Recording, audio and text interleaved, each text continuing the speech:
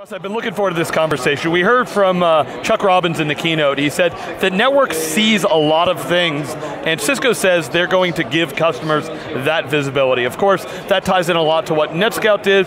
Love, you know, give us, you know, your thoughts on multi-cloud, how's Cisco doing in the space, and how, how does NetScout fit into that whole picture? Well, I think you know one of the things that, as Chuck talks about that, it's the cloud is the one thing, or the network is the one thing that's common for all uh, all the devices, right? I have, if I go into a different cloud, I have one set of performance metrics I might be able to gather. If I look at a device or an operating system, it's all different.